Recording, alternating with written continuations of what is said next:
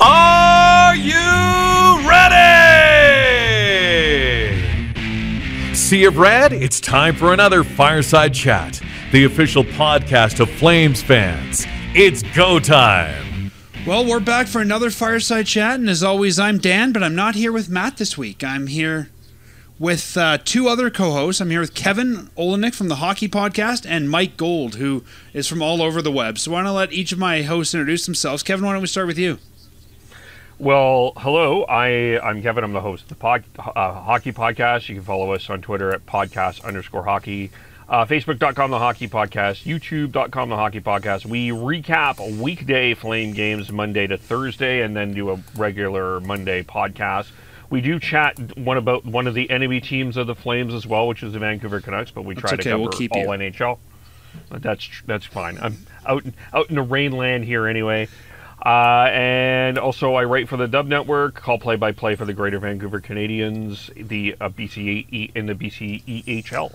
So, Kevin, What I have to ask. need to That's kind of a caveat. We call or we do a show after weekday Flames games. Are you just like old men and want to go to bed early on weekends, or what's the deal there? No, I, I, I do play-by-play on weekends for the Oh, okay. Greater Vancouver Canadians, and the other so the other group is everyone else is afraid to host. That's the problem. Ah, there you go. Okay. And Mike Gould, you've been on the show a few times. You've been with us live at uh, Flames Training Camp. We've had you on recorded shows a couple times. Why don't you introduce yourself again for those that might not know you? Yeah, I'm Mike Gould. Uh, I've been, I guess, on this show. I don't know how many times now, half dozen times maybe. Um, yeah, I've been on Fan 960. You might have heard me there talking with either uh, Ryan Pinder or Pat Steinberg, mostly about the Stockton Heat, uh, which is the team that I was able to cover uh, last season at the Scotiabank Saddledome when they were playing here because of all things that broke loose. Um, and that was a lot of fun. Got to see them in person when not a whole lot of people did, being in the empty Scotiabank Saddledome with probably about 25 It's a weird feeling, isn't it? Playing inside of it. Very weird. Um, I write. I write for FlamesNation.ca and a bunch of other places. Uh, and I am the public address announcer for the Okotoks Oilers in the Alberta Junior Hockey League, and they have lost, I think, nine consecutive games that I've been at. So, uh, I, You know I what that means? You're not going to be a public address announcer very long. This guy's a bad omen. Yeah, it's uh, it's not going so well lately. Um, they're scoring a lot of goals. The goaltending's been a little bit suspect, but um, they'll get back into it. Sounds like the start the Flames usually have, doesn't it? Losing nine games in a row coming Yeah. into November. No kidding. I mean, well, you look at how many season openers they've lost in a row, right? I mean, uh, it's up to twelve now. Yeah. longest streak in North American professional sports. Yeah. Well, let's talk a little bit about uh, this week, guys. Uh, let's recap these games we usually do. And I think this week was really the first week that we saw the Flames maybe face some adversity. Um, we saw them start the week off since we talked last in Montreal. Uh, or against Montreal, yeah, in Montreal, and they lost four to two in that game. Um, I, I think I don't know what, about you guys, but I didn't think the Flames probably played the best sixty minutes there. Kevin, what were your thoughts on that game? Yeah, it felt uh, it felt I guess, and it really this really started with um, San Jose too. The you you look after that Rangers game, that was probably the height of where the Flames were at this year, and then San Jose they had the letdown, and I felt like Montreal they also came with a little bit of a hangover. Uh, didn't looked at the Montreal Canadiens, uh, didn't take them too seriously. I didn't think, and um, yeah, they they stumbled for sure. It kind of felt like last year when they lose a game and then they'd go into the next game on the loss and lose again, and they sort of had to break that funk. Ma- Mike, what were you thinking about that one? Yeah, it was sort of a continuation of the third period of the San Jose game, where watching that San Jose game, as soon as they didn't score in the second period, after they'd had like a, dozen glorious chances, you knew they were going to give up a weak one in the third. And it just sort of felt the same way that the puck wasn't really destined to go in for them in that Montreal game. Um, I thought it was, you know, it was sort of close, but uh, Montreal was definitely carrying the balance of the play in that one, and I think that was sort of the first of a couple consecutive full games where the Flames really struggled to generate a whole lot of high danger stuff, and it certainly didn't look like any of their chances really gave Jake Allen much, g- gave him much to work with, honestly. Um, it, it was a tough one, uh, but you know, it wasn't the sort of game where, and, and it was also the start of something that I liked, where they put Monahan up with uh, Mangiapane and Coleman, uh, which I think has through this sort of stretch of eh, play has been maybe their most consistent. Do you think you'd keep that those line? Games. Yeah, definitely. Well, I, I kind of disagree because I I feel like Coleman has struggled the last little bit. He's been taking a lot of penalties. Um, I, f- I don't know. I feel he's a better fit with Backlund than It's he like is Sam with Bennett Monahan. all over again. Yeah, except older and American. Um, but I, but I just, I'd like to see. I, I I mean, uh, we're off track already, and it only took four minutes. Congratulations okay. to us. But I, I'd like to see Dubé with Monahan and Mangiapane, and I'd like to see Coleman back with Backlund and Pitlick. I just don't feel that Monahan and Coleman are on the same page for some reason. I don't I don't much care who the third guy on that Monahan Mangiapane line is, as long as they keep Monahan and Mangiapane together. Uh, I think it's been a relatively good stylistic fit with those two. Um, and you can see sort of Mangiapane has some of the Gaudreau-ish tendencies, but he is also, I think, a little bit better at retrieving pucks for Monahan to get. Um, I would agree with that. And yeah, I mean, I can I, I, I can see the point that you're making about Coleman, um, and I they got to get Backlund going. I haven't liked Backlund as much as Monahan honestly this season, uh, which is not great because Monahan ha- didn't have the greatest start to the season, um, and it's hard. You know, looking in the off season, everybody thought they were going to come in with a Coleman Backlund Pitlick line that would be good at both ends of the ice and you know would be able to score some goals. And I'm not too worried about Coleman's production. I think it's going to come. Um, ugh, Pitlick on the on the wing, I, I don't like it. I don't like that. Where'd you put Pitlick? So, but uh, waivers. I think he's. I mean, He's he's been- got a spot in this lineup. I just don't know if it's as the number two Yeah. Oh, guy. I mean, he's a capable NHLer. no. If we look at the guys he's replacing, I'd rather have him than Dominik Simon or Josh Leivo. Like he's Oh, sure. he's a capable guy. I'm just not sure he's your number two winger. He's just so slow. He's so slow. And when he gets the puck, he, he's he he is the flame who reminds me the most of Blake Comeau since Blake Comeau left. Also a story from waivers, but going the other way. Yeah, I just I guess the other thing I guess man maybe we'll we'll delve into this more. They ha- they do it is a mystery to me. They have to find a way to get Andre Mangiapane more ice time in some way. So I do agree with you, Mike. Um, in terms of Monahan and Mangiapane, I would like to see them together. But ultimately, I think the other question going forward is how do you give Andre Mangiapane more ice time? I, I totally agree, and uh, I, it's hard for me because with the way that the Flames' first power play unit is currently constructed, I don't want any of those four forwards coming off of it. Um, and even as much guff as Sean Monahan gets, if you look at his if you look at his numbers on the power play this year, they're in the top twenty in the league. I mean, you can't take him off of it at this Nope. point. Um, but you know, it, it's hard because the the second power play unit it just doesn't have the same personnel, and it's it's never going to get the lion's share of the activity with this coach because he's clearly a guy who likes to you know favor his first unit. That's And the even that's the strength, I unit mean- of what? That's uh, Lucic, Backlund, Mangiapane. That's the Yeah, yeah. with uh, and Dubé. that's the law firm. and- Yeah. That's right. We, we were talking Yeah, about this on yeah. Kevin's show. I said we were trying to figure out the lines. I said the fourth line is just Lucic and company. It's like a law firm, whoever you want to put with them. Lucic and Associates. Yeah, I mean, sort of tying things back into the Montreal game, which we were theoretically supposed to be That's talking okay. about. Um, We go off track all know, the time. I mean, the guy. If I'm making a change to that top power play unit, it's probably on defense, and it's probably to get Oliver Kylington onto it, um, with the way that he's been playing of Yep. late. Um, I mean, holy mackerel! What what is there to say? I mean, uh, and obviously in that Montreal game, uh, you know, gets another point on the Backlund goal to open the scoring, and uh, you know, it's it's been awfully impressive to see what he's been able to do. I didn't say this off the top, and I probably should before we go too far. Um, Matt is not with us. He had a family emergency this week, so that's why I need two guys to fill his shoes. That's why Mike and Kevin are with us. So let's ch- chat about that Toronto games. The next night, the Flames go to Toronto. Um, I think a lot, I don't know about you guys, but I thought a lot of the same problems that we saw from the Montreal game still in Toronto. Like we, I thought the Flames played a very similar game on the ice against the Maple Leafs, and they got the point. And in some ways, you can't really complain when you're giving up two to the East and you're getting one. Like if you're if you're gonna lose, you might as well give them up to the East and get one out of it. But I didn't think a great game here, Mike. Why don't we start you off with this one? I mean, you can't complain about how Dan Vladar played. Nope. Um, but other than that, uh, you know, it wasn't their greatest game. Um, I think uh, off the top of my head, the penalties were quite lopsided in that game. They were. I've Um, got the, It might uh, have looked a little bit different Yeah, it was three to one uh, for Calgary. So Toronto had three power plays, and I think honestly, if Calgary had had more opportunities there, it might have been a very different game. Um, but you know, it was just the sort of game where they didn't score in the first period, and I don't think they scored in the second period, and you could just sort of sense the frustration setting in. Um, and obviously, they got a, a hell of a goal from Oliver Kylington again um, to sort of get them up. But it, it just it, it never it sort of felt tenuous uh, that lead as soon as they got it. It reminded me of the, la- the the Leafs game they played last year, where they scored late and then they gave up two straight two straight goals to Nylander and lost. It was the exact same vibes. And during that Leafs game last year, I never thought we would say a heck of a goal from Oliver Kylington. Yeah, no kidding. I mean, I always had hope for Oliver Kylington. Um, beginning of last season, I wrote an article uh, that was basically the Flames should not trade Oliver Kylington.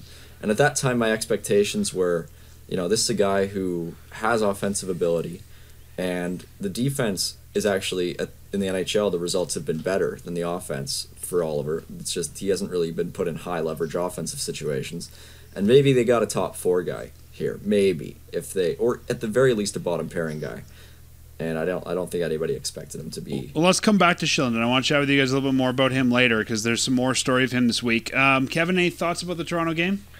Uh, yeah, Vladar, Vladar again. Um, the nice thing about uh, Dan Vladar has been found money for the Flames.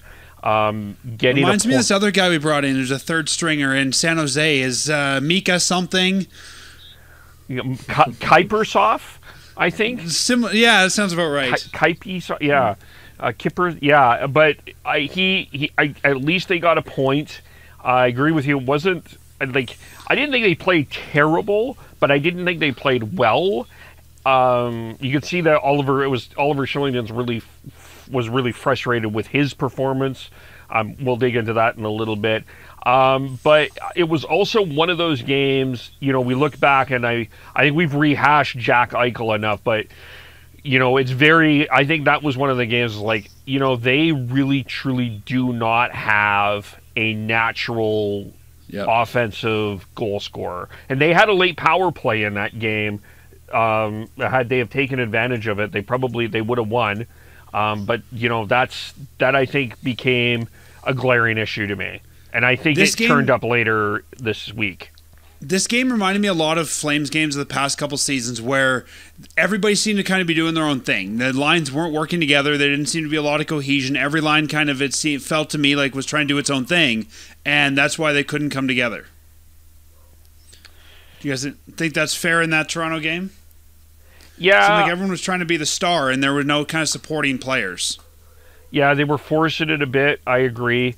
Um, there's yeah, there's still you know there's still some of that last year flame stuff that I think Daryl Sutter's trying to weed out of the team, um, and that's one of it for sure. There there still seems to be a bit of fragility with this team in certain situations.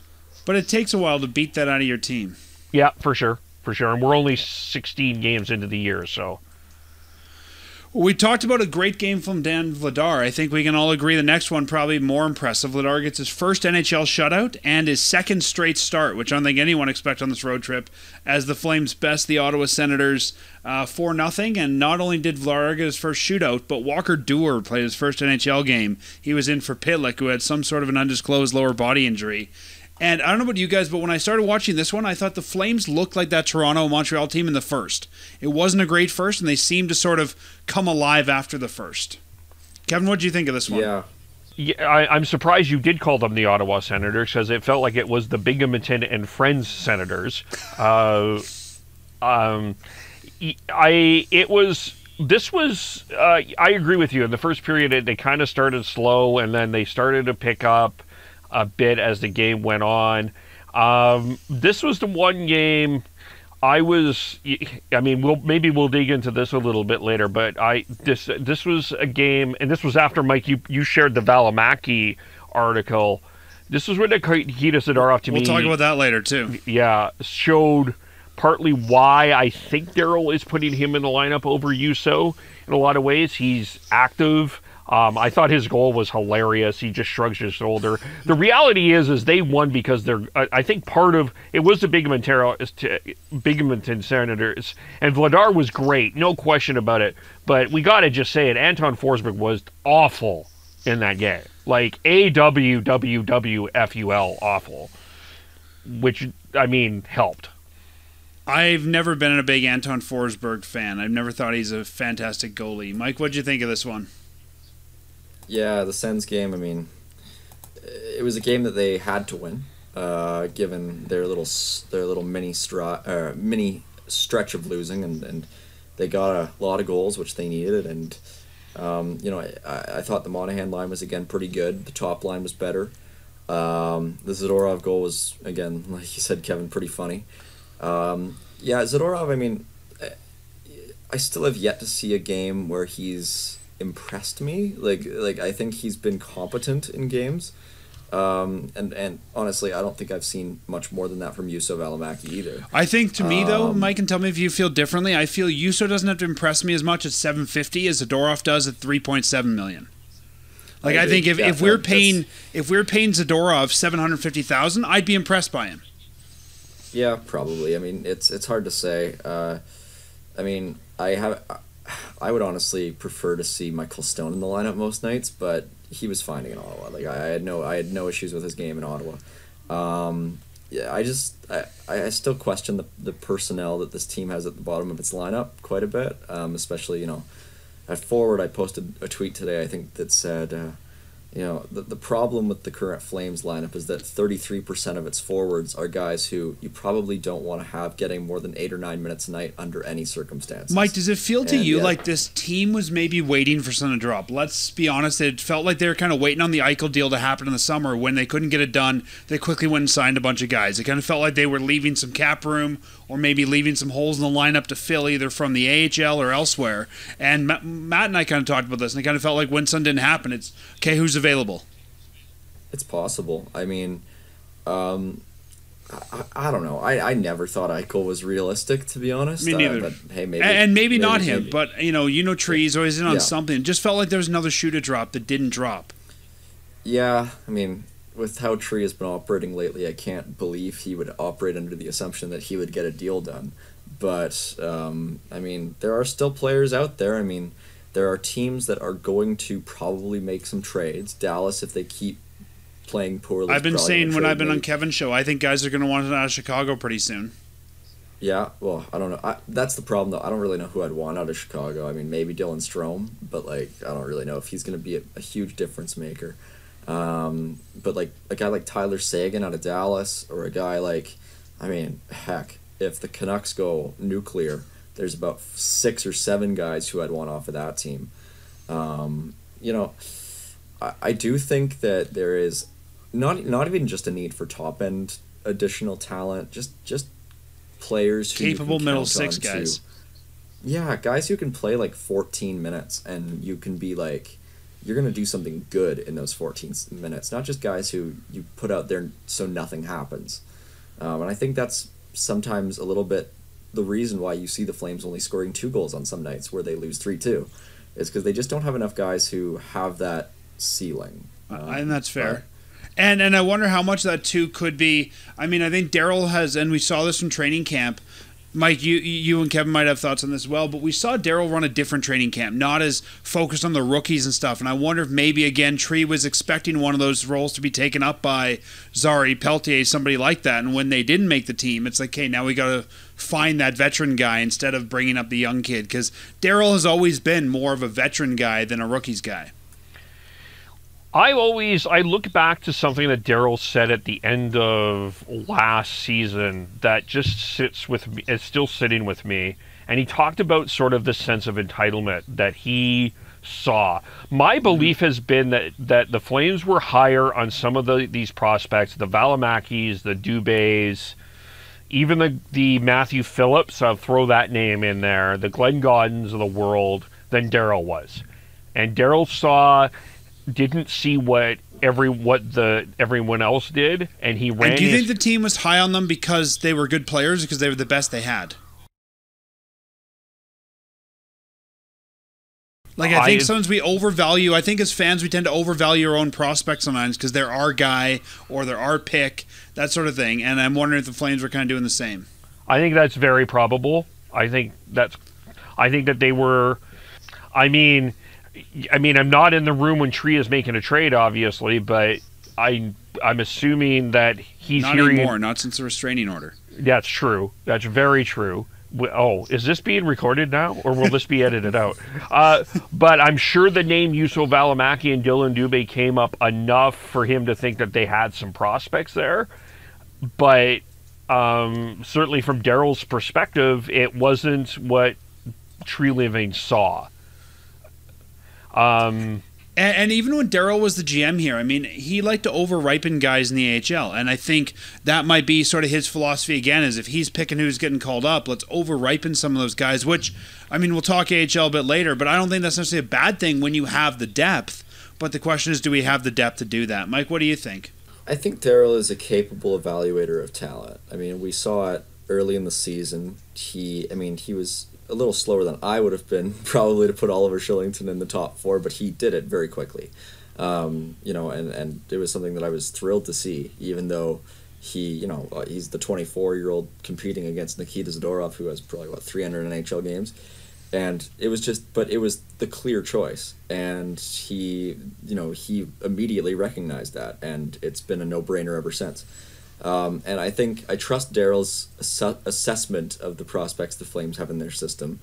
Um, and but but that being said, I don't think them like I don't think the AHL guys not getting big views at training camp has much to do with how they performed. I think it has more to do with Daryl wanting to see the guys who he was expecting to see first. That makes seeing sense. the guys like Brad Richardson first, seeing the guys like Trevor Lewis first, and waiting for them to falter before he goes to that well. Um, and giving those guys who are AHL guys the chance to prove themselves again for him in the AHL before he brings them up. And to their credits, uh, you know th- that that top line in Stockton has not slowed down. All three guys are point a game, uh, and I, I think you know Daryl has gotten more of a book on what guys like Trevor Lewis and Brad Richardson are in the NHL at this point, and it hasn't hurt the team in terms of its record so much to this point that it's been something that you can look at and say, well, Daryl, maybe you shouldn't have done that. So I understand why he has done it, and at this point, I would expect. You know, I, I'm not sure how much longer we're going to see all four of Richardson, Lewis, Lucic, and Pitlick in the lineup um, because I think ultimately I think Daryl is probably going to look at it and say, you know, we have having a couple of guys in these have, having a couple of these guys in the lineup is good for our two way game. And just having a couple of guys in the press box is good if we need a body. yeah, and uh, but we need more scoring. Yeah. I think is ultimately what it's going to come down to. And when you have a guy like Adam Ruzicka who has nine goals in eleven games for Stockton, at some point something's got to give. And all those guys, I think, you know, if we waive them, they probably don't get claimed. And, you know, maybe it'd be good to have a veteran down in, in Stockton. yeah, that's a young team. It That is. a very very young team. You know, you put Richardson Um, down there, you get some leadership. Yeah, and you know Byron Froese is they- their And Daryl's a coach who always seems to want guys to prove themselves. Maybe this is his way of making those guys prove themselves. Look, Glenn, we're not going to give you a spot just because you're the next guy up. I'm going to bring Richardson in, who's a proven NHLer. Change my mind. Yeah, it's And- tough to say what the deal is with Glenn Gawdin, but uh, what were you gonna say, Dan? And I think that might be something similar to what we're seeing with Zadorov and um, and Valley. Of you know what, this is the proven NHLer. Fight your way into the lineup. Well, Kylington made them. Kylington did, yeah. Like, like he forced his way into the lineup with the way that he was playing, and there was there was absolutely no denying the way that he was playing at the start of the season. And once once he was in, he has not. He has had you know maybe two glaring mistakes in 13, 14, 15 games this season, and they have been dramatically outweighed by the value that he's provide provided in the offensive and honestly the defensive zones. Uh, and I, I mean, so that's what Juuso Valimaki's going to have to do. And you know what? He's two years younger than than Oliver Kylington. Yep.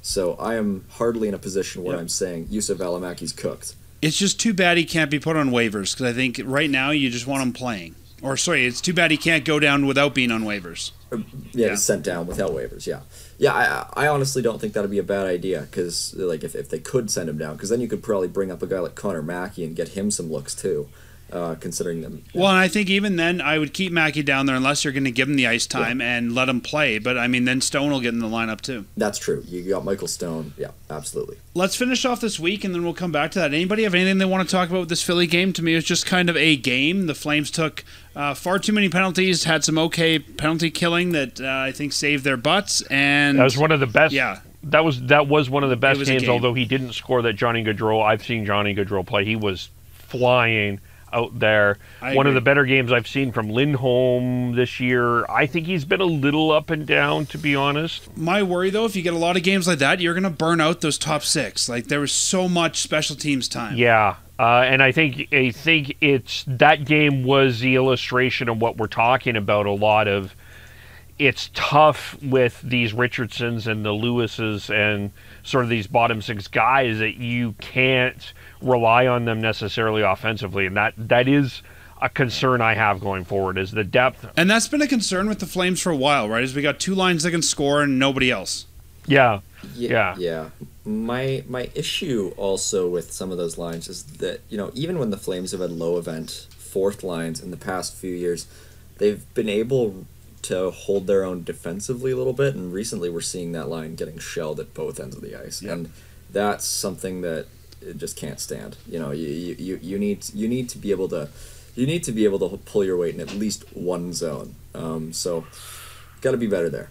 I have one more concern. Actually, now that I think about it here, and I'm looking at Only one, all right, air it for us. Uh, it is well, Rasmus Andersson no goals this year. Noah Hanifin no goals this year.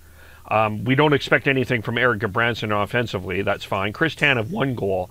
Uh, I would like to see more offense from the defense other than Oliver Kylington. That is I think, like Mike said, though, I think those defensemen have been so busy trying to play defense that they haven't had as much time to be the offensive guys we need. yeah, that's true. But um, it's you.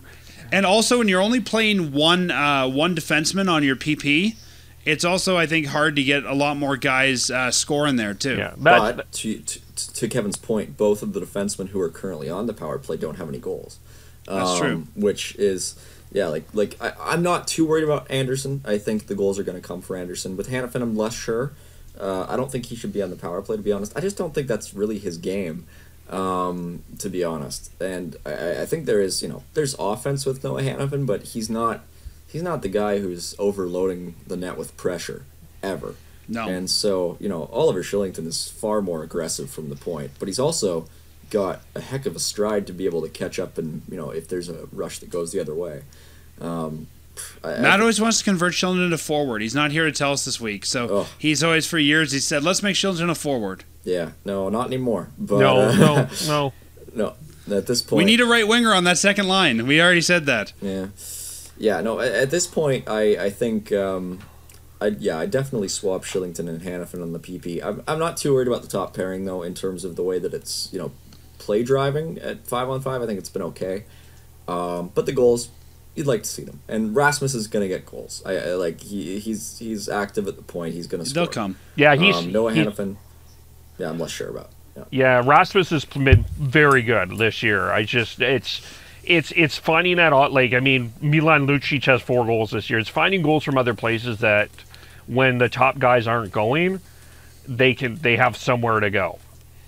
And I'm not saying this is you, Kevin, but I think a lot of times fans overvalue how many goals defensemen should get. Like I think Noah Hanifin is not the guy that you're looking at as your offensive driver on the blue line, but I think he does a lot of good things. I think he does a lot of good things there that make him valuable, even if he's not scoring. No, that's totally yeah, that's fair. That that's completely fair. You know, like if you want him to be scoring goals, put a forward back there. I think defensemen are just that defenseman, and he's doing a good job of being a defenseman.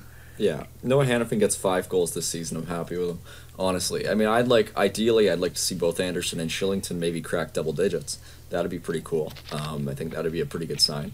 Um, you know, it was something that we saw in you know when in years past when the Flames had Giordano and Hamilton on the defense, and you would see, and even T.J. Brodie would get up there some years.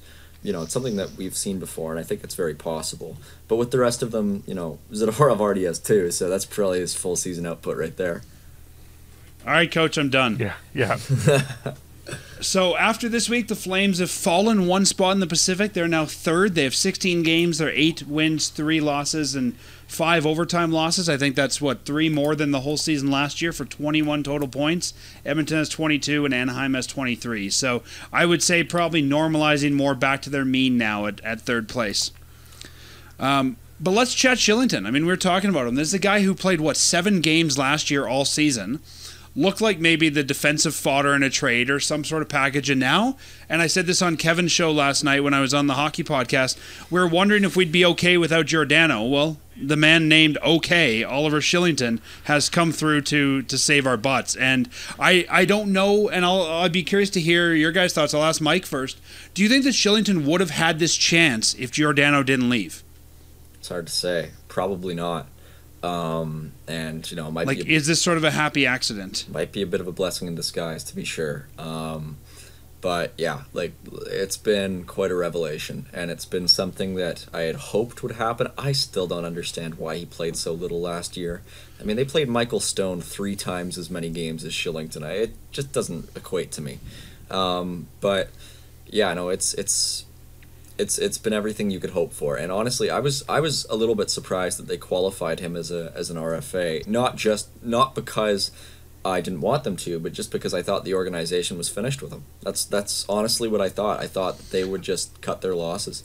Mike, um, I kind of thought everyone's got a Kylington. You qualify him, and I expect him to be on waivers and sent down. I thought they probably saw value there, but maybe not the NHL level. Yeah, I mean, like I, I thought there was a guy there. I thought there was an NHL defenseman there, and but I didn't think that they thought that there was one, and I definitely didn't think that Daryl Sutter would be the guy to unlock him. But I, that was probably foolhardy on my part, considering you look back at LA and the guys that came up underneath him, guys like Alec Martinez, and uh, you look at guy in when his when he was in Calgary, and you saw Jordan Leopold come up, and so you think about guys who were able to score on defense and maybe didn't have the most sterling defensive games who were able to find their games under Daryl Sutter. You know, maybe we should have seen this coming, but um, at the, at, it's impossible to, to say that this wasn't a surprise. Kevin, what do you think? Do you think Oliver Kylington would have had the chance to emerge if Giordano was still in town? No, no, he would not have. Um, and this, this is where I may be have an unpopular opinion um, but I think maybe one of the best things to happen to this team, and I, I, I want to be careful how I'm saying this, was Gio leaving. And I'm not saying that Gio was a cancer. I think on the ice, I would agree with you. I think there's a lot Gio does behind the scenes that the team is still has some holes. Oh, for, for. sure, yeah. But I think I I think to me, Gio doesn't want to get off the ice, and I think for sure you needed at, at the very least you needed to at least reduce his ice time. And I think you're seeing that with the Kraken. You can't play him the minutes that you're playing him right now. It's just that's not where he is at at his game. And the other thing about this is, it, I think Oliver Kylington wanted to leave. I was thinking that someone would actually throw an offer sheet at him. I was requesting. I thought if I was a team, I would have thrown a little bit of an offer sheet. You didn't have to throw a like a Jesperi Kotkaniemi offer sheet, but you know. And if you don't even do what is a million and a half, it wouldn't even cost you a draft. Yeah, yeah. I, I, would have thought the Flame said, "Okay, thanks, good luck, Oliver." But he, I, he's just, I like his stick word has improved, his speed has improved, his intelligence has improved. Um, it's just it's been such a revelation what how he came. You'd to, almost think it's a different guy wearing yeah, that jersey. like year. I've tweeted a couple of times. I'm wondering is this Victor Hedman? Like is Victor Hedman here with the with the Flames? We just identified him as Oliver Kylington. Yeah, my I, I guess my oh go ahead Mike. Okay, all right. I was just gonna say my rankings. If I'm going down the list of which Flames have been the best this season, I go Johnny, Markstrom, Kylington. That's all it takes for me to get there. I mean, it's just been unbelievable, and I, I think he's been their best defenseman. And he's the way that he is playing with the puck has been something that I haven't seen a Flames defenseman do in recent memory. Absolutely, I mean. He's, he's, he's, he's probably their best offensive, purely offensive defenseman they've had since Dougie Hamilton was traded, and uh, that's a fair point. Something they've missed. Absolutely, I think. So, Mike, let, let me toss this at you, and then I'll toss it at Kevin. Is this Oliver Kylington sort of a new man, or is this flash in the pan Oliver Kylington who regresses back to a mean?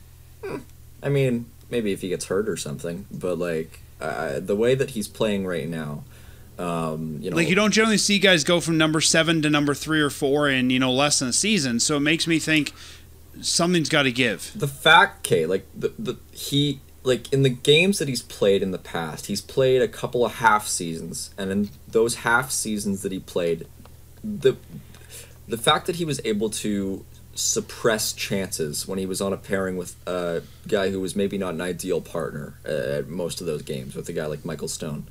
Um, like the Flames weren't were not a train wreck defensively with Kylington on the ice in those games. Uh, you know, he might have you, he might have made some plays that looked bad, but looking at the Forest, he was you know he was capable of playing NHL caliber defense, and that was the reason that I held out hope on him before this season. And so the the fact that he is sort of seeing a progression there, and the offense is just I think a factor of him being deployed differently in higher leverage situations, and him saying, "I'm ready to eat this up." Um, and so we're not seeing Oliver Kylington score on plays that are flukes. I mean, the goal against Philadelphia was lucky, um, but the goal against Toronto is the sort of goal that four guys on the Flames can can score. Um, And he's making plays that are sustainable in my mind, and he is driving play. The his underlying numbers are unbelievable. I mean, this isn't this isn't something where we're seeing a guy score points uh, and seeing a team score in spite of him being on the ice. He is absolutely driving. So I am skeptical that this is a flash in the pan. What about you, Kevin? you look at that draft list.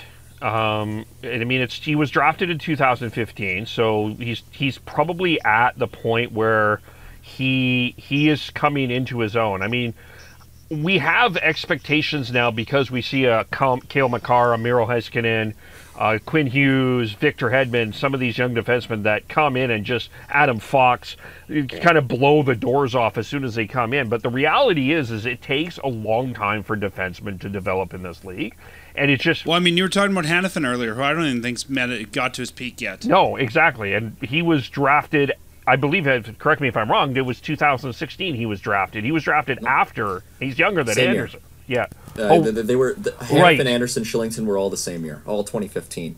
Right, Hanifin was fifth there. He was in that. He Yeah. was in that. Right. So, I mean, I, I, I mean, I can only think. I have to think that this is, this is an improvement to some. Now, is he going to be a Norris Trophy consistent guy? I don't know, but I certainly do see that there's some real.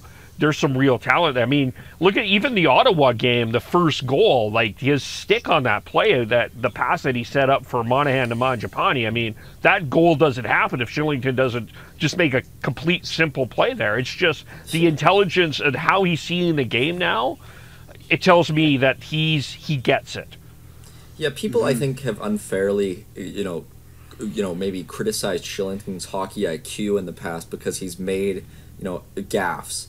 And I actually think that's I think it's actually the opposite. He is making gaffes or he has made gaffes because maybe his game wasn't there at that point, but like his his raw skills weren't ready to make the plays that he is seeing. I think he's actually a very smart player who sees the ice very very well and now he is at the point in the NHL where he is a like physically matured enough and b um, he is being used in the situations where he is able to make the plays that he's been trying to make Yeah, I'd agree. um, and he is at the point where he's able to be successful the majority of the time with those plays. And so we're not seeing him, you know, cough up pucks that, you know, if they had gone through in past seasons would have led to scoring chances for him. He, he's actually getting those pucks through, and I think honestly it's just a progression. It's it's a pure progression thing, and I, if I was working for the Flames, which I don't, thankfully, but if I was doing it, I would really be in conversation with his agent right now. Um, well, that was going to be my next question. So, Mike, if you're the GM here, you're the heir apparent to Boston Pizza, you're running this team, you got to pay this guy next year. He's an RFA. What does that contract look like? He's 750 now. You're not getting him for under a million. I take oh no kidding.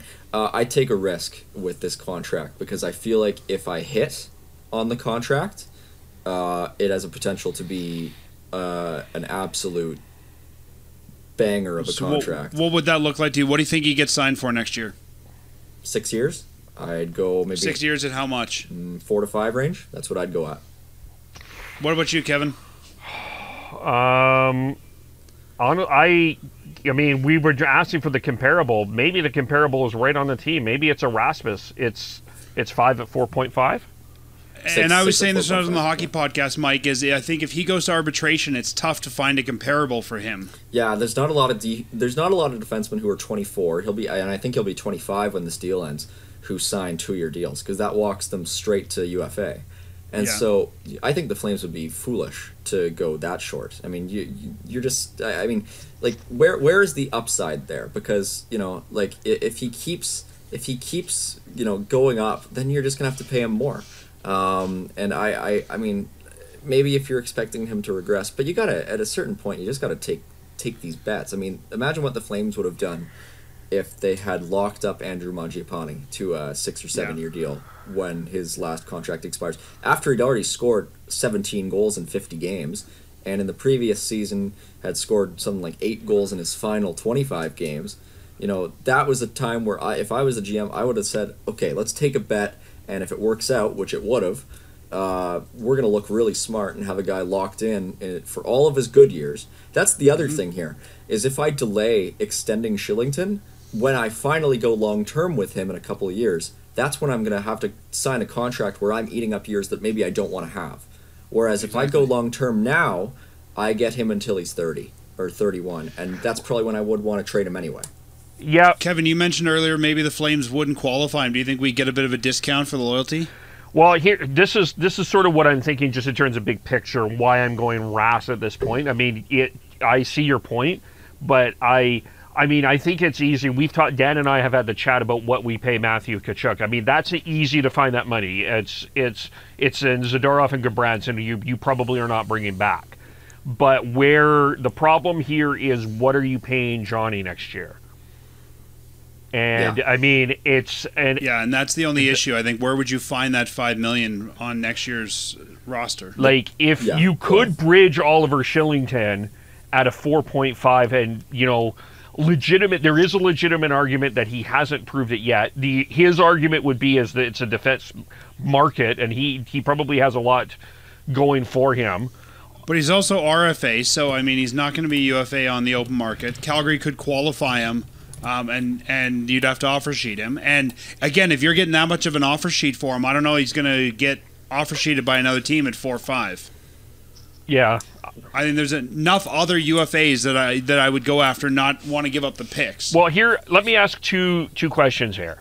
Let me just throw this in this situation because I, I I I agree with Mike that I mean I think I I, I kind of see the high point, but is the fact that he's playing with Chris Tanev a help, or do we think if Oliver Kylington was playing with Rasmus Andersson, we would be seeing the same thing?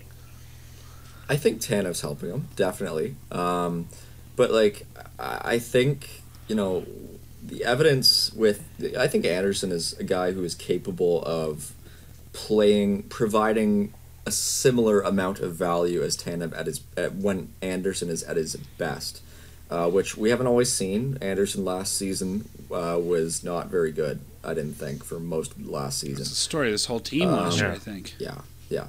Um, so you know, and Andersson's another guy who's maturing, right? And uh, you know, Tanev's not going anywhere for now. Uh, still got two more years, and uh, you know, it, it is it is worth asking. And I, I I would keep those two locked at the hip, like right.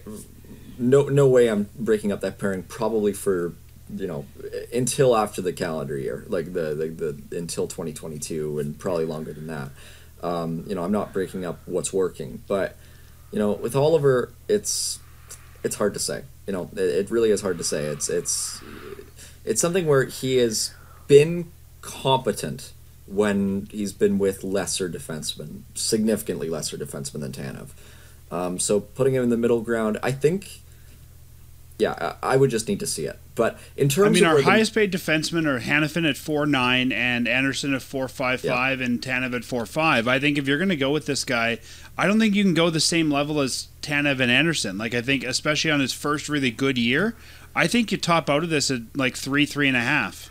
Uh, it's hard to say. I don't think he takes it. I don't think he I takes don't it think he because does he's so either. close.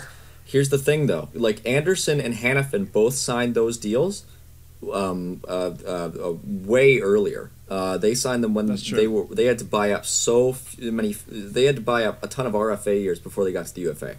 And the thing with Tanev is he was far from being a sure bet when he signed that contract. Uh, his last couple of years in Vancouver were rough. They weren't they weren't what They he were. was doing uh, earlier in his career. Um, and there was a lot of evidence to suggest that maybe Quinn But he also Hughes, paid a UFA premium on Tanev. that is true, yeah. But there was also a lot of evidence to suggest that Quinn Hughes was the one who was sort of driving a lot more of that pairing than Tanev was. Um, and obviously, Tanev has been a revelation in Calgary.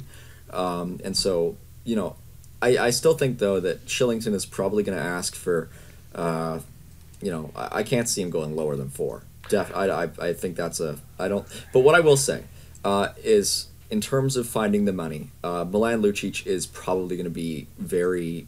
I'm not going to say very easy to trade this offseason because that's never, you know, that's never. Trades are never easy. But a Milan Lucic trade becomes a lot more feasible after July 1st, 2022. Do you think you'd have to take back bad salary? Do you think you can move that out for and bring nothing back? I think it is critical that they potentially move an asset to move Lucic.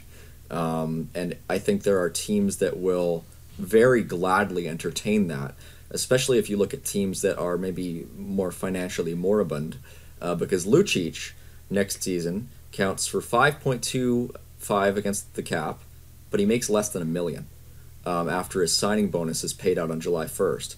And his no trade clause expands, well, actually contracts, uh, and he can be traded to 10 teams without his consent. Um, so I think there's actually a very realistic possibility where the Flames find that money by moving Lucic, especially if you know he continues as a guy who is a 20 25 point guy with decent defense because GMs will always value guys like Milan Lucic.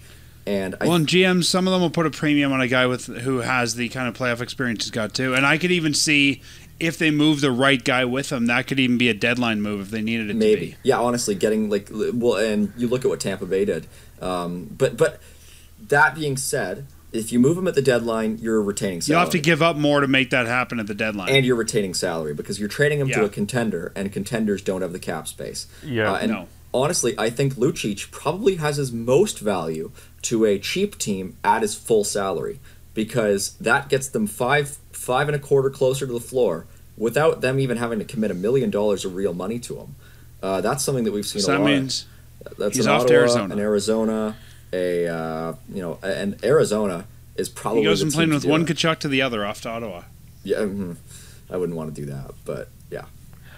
No, I, I think that could be very feasible, and that would free up that money and still give you some left over. I mean, you're not paying. Which Tkachuk? You're, you're not gonna. You're not gonna paying uh, Kylington five point two. So that you know you pay him what he needs, and then you got some money to sign the other guys you need, or at least cap space sign. The other okay, guys I know that, but this this does play into the conversation a little bit, and I do have a second question about Oliver. But what are we paying Johnny? Like, wait, we got that blank check that Twitter is saying, okay, here's a blank check, Johnny. What are we hoping? What are we praying Next yeah, year? What are we paying him? That's a tough one. What do you think, Mike? You know that scene in Ferris Bueller uh, where the teacher, or not the teacher, the principal uh, says that Ferris has been absent nine times?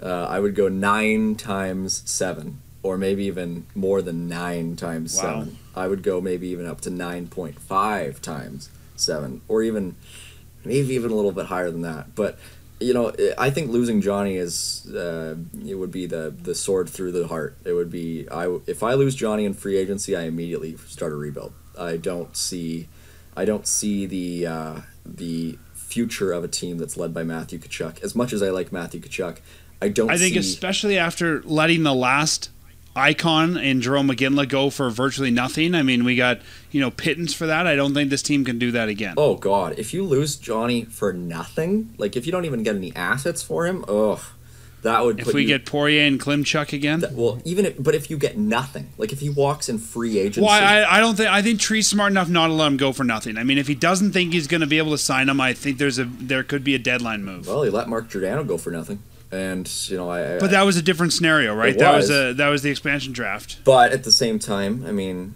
you're looking at the guys who they had available. I think there's a very real scenario. Uh, Like they, there were so many defensemen who were traded leading up to the expansion draft, but that's a completely different discussion. But What do you think his deal is, Kevin? Who Johnny's? Um, Yeah. I. It's hard not to go nine. It's hard not to go what Mike said. Um, but the question is: is do you want two players on your team with nine million dollars? Um, because I mean, look at there are teams. There's a team in out east of the center of the universe that has four people, four players in that over 10 million range, and it's it's tough cap wise, but to me, I think that's what you have to do. But then the next question with Oliver that I have is, and I don't think that this is ridiculous. Maybe you do, but we've already talked about. There's talk about Monge on the Olympic team. What if Oliver Kylington is on the Swedish Olympic team?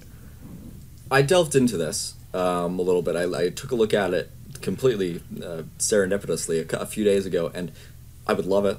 I don't think it's going to happen. I I think like with Oliver, um, he he plays for the worst possible team to be able to get on their Olympic team because if he was Finnish, he'd be on it absolutely. Uh, if he was Russian, he'd definitely be on it. Russia does not have many good defensemen, but Sweden. I think he would struggle to be in the top four on their second team, as good as he is, because the guys who they have, I mean, Hedman Karlsson is guaranteed to be their top pairing. Uh, they've got uh, Hampus Lindholm, they've got uh, jo- John Klingberg, they've got uh, Oliver Ekman Larsson, who they're probably going to take, even if he's not that great anymore. Uh, they've got Jonas Brodin, they've got probably Rasmus Andersson, who they would take before they took Kylington. Um, I think Sheldon only makes it if there's a big injury. I think Yeah. Kylington only makes it if there's three big injuries. Like that's how that's how deep Sweden is as a, as a country. They are they're outside of Canada and maybe the states, but I'm not even convinced on the states. Sweden has the deepest crop of defensemen. It's going to be so difficult for Kylington to crack that team, Yeah, and I, especially you on the left side. And that's the the thing that I that you know if if he somehow makes that Olympic team, that makes his contract negotiation a lot tougher because he has. If he makes the Olympic team, his next contract starts with a six. Yeah. I think It- like, it- it- it's yeah, yeah.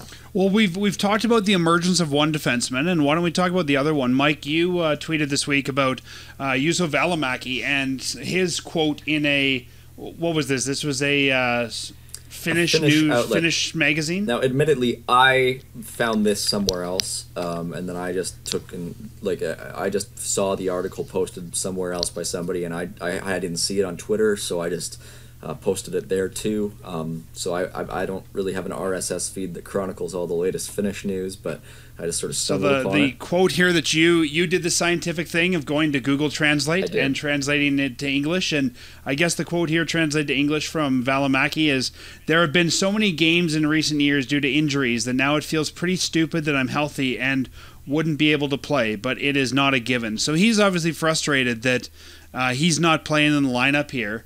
Um, if we're talking about you know freeing up money, do you guys think that Juuso Valimaki, if he's not in the lineup, is staying aflame, or do you think that's a piece that uh, we might be trying to move out? I don't think they're gonna be hasty on moving Valimaki. I only think they're gonna be moving Valimaki if there's another guy who they really like, who is of similar pedigree, who becomes available, and he is the price to get him.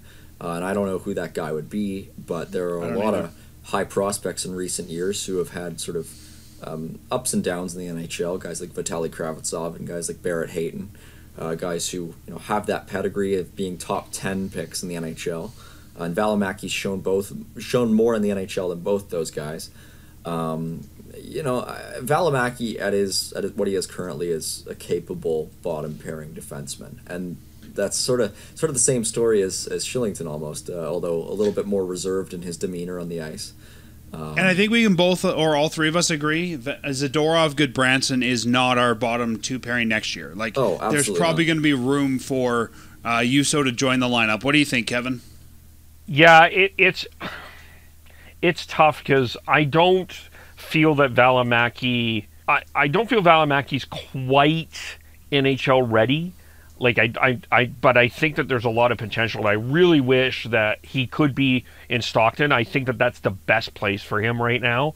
Him being seventh, a seventh defenseman, um, isn't good for him. And I, But I mean, it's not like Zadorov has played well. As like I'm, trying to word this. But Zadorov's much more of a Daryl Sutter Yeah, player, he, quote he unquote. absolutely Like, fits what Daryl Sutter is looking for, and Valimaki isn't at this point.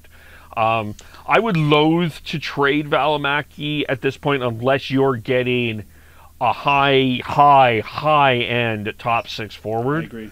I would be loath to do it. Like I just for the And I think if we were slotting, correct me if I if you guys think differently, but I think at the beginning of the season when we slotted defensemen, we probably had Valimaki in and Gudbranson out.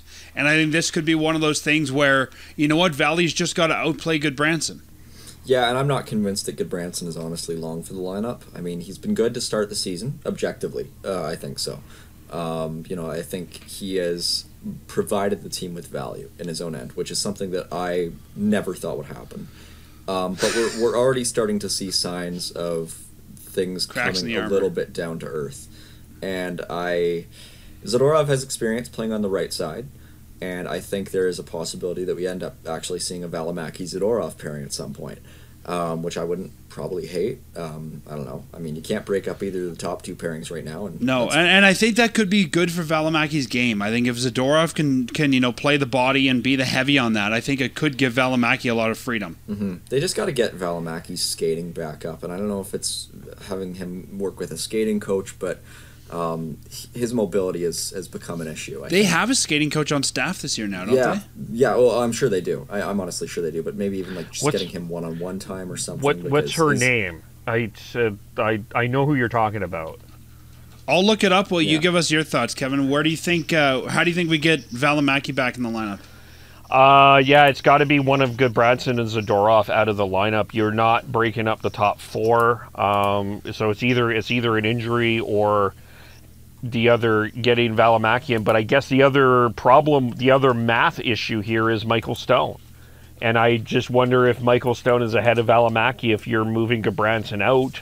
You put Michael Stone in there against because Sutter was a huge fan of Michael Stone last year. The only thing about Stone is I think he's one of these guys that is a quintessential 7 8 because he can show us that he can step back in if not playing for a while and still look good. Like, he's not the kind of guy I think you need to keep in the lineup to keep fresh. No, Yeah. I, no, but I just, I don't know. I, I just, Danielle Fujita is Yeah. the name you're looking for. yeah, it, it certainly doesn't feel like Daryl Sutter and Juuso Valimaki are on the same page. That's for sure. And that's the only reason I'm wondering if, well, the Flames might not want to trade Valley. Do you think Valley's going to want out? Like, do you think he's going to say, I don't want to play for Daryl. Daryl's not using me. I want out of here. Oh, he's he's already talking to Finnish newspapers about how he's uh, unhappy with. Well, that's his it. And, playing and I can't see that sitting well with the Flames of him saying it's stupid. Yeah, I don't think I don't think I mean it could be a mistranslation again, but um, uh, all I mean with Oliver. Google made a mistake. well, Yeah, the yeah, translation of that. Note the date and time. Did you, did Yeah. you guys, if you saw the translation of that, and I would recommend the listeners do that, it was quite humorous.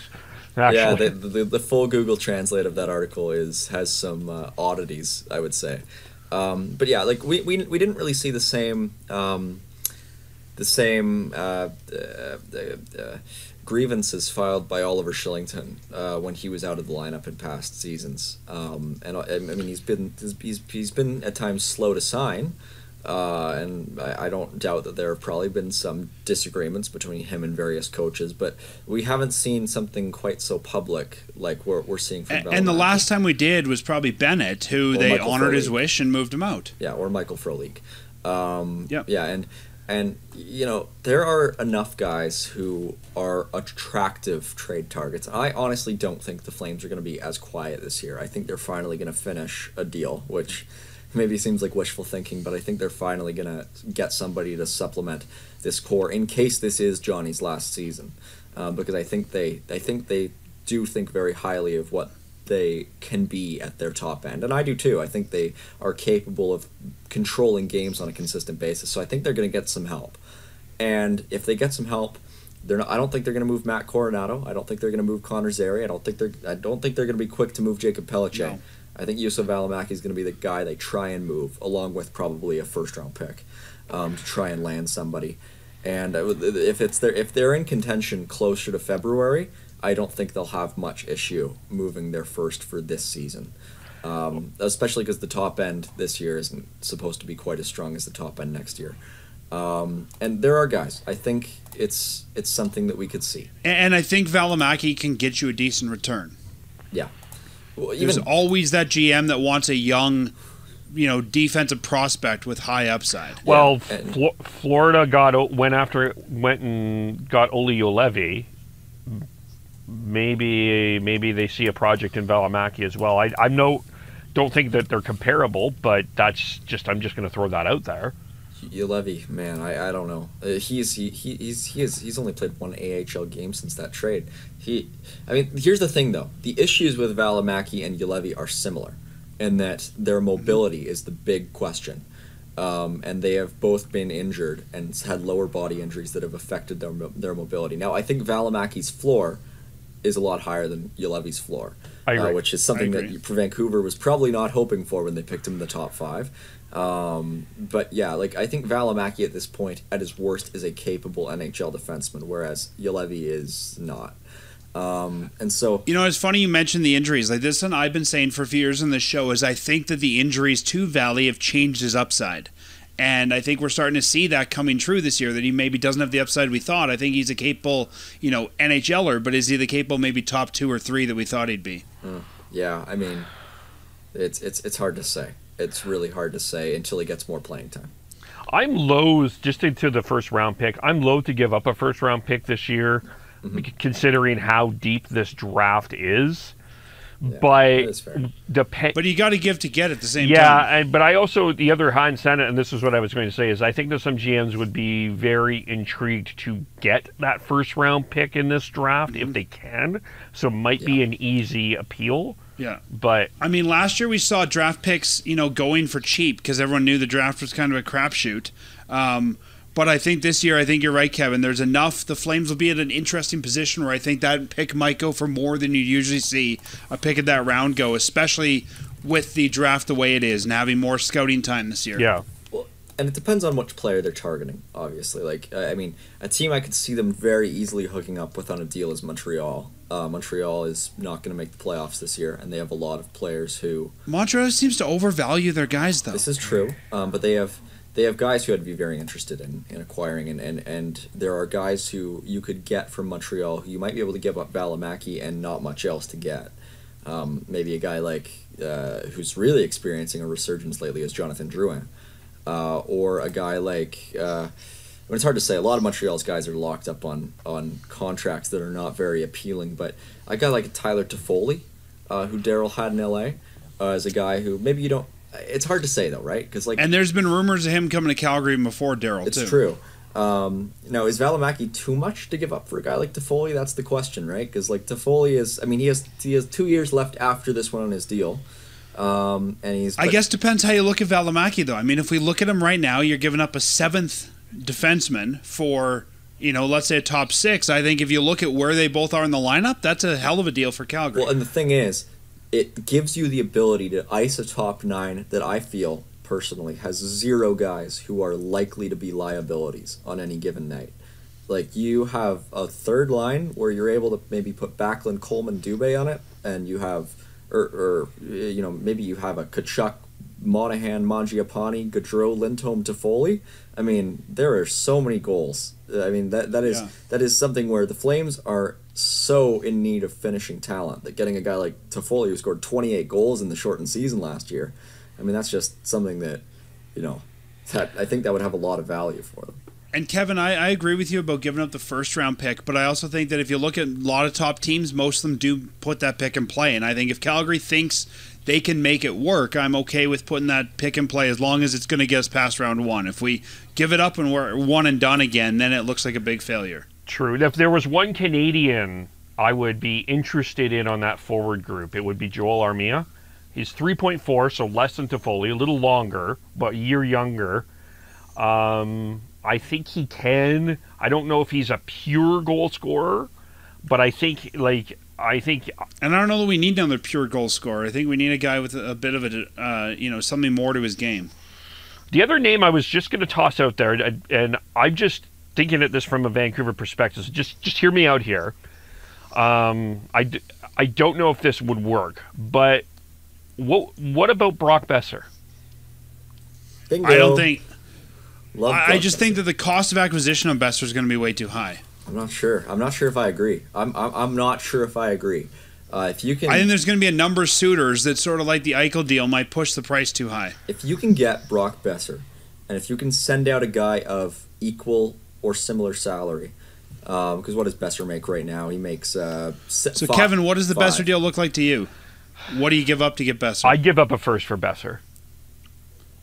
You want Just a first? You know what I do? I do. I What's do. that, Mike? I do Lucic Valimaki first, second. Wow.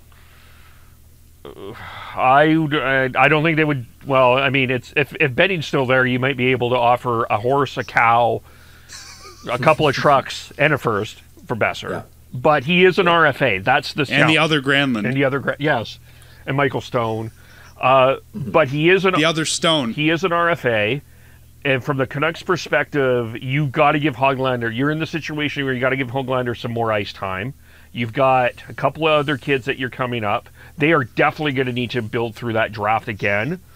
Um, and he, I don't know. I think that The nice thing about Boeser is he's a right shot, which we desperately that's need. that's what's appealing about that idea.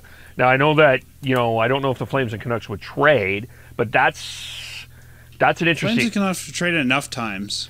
The other guy I wanted to toss out there that just may be interesting. What about Clayton Keller in Arizona?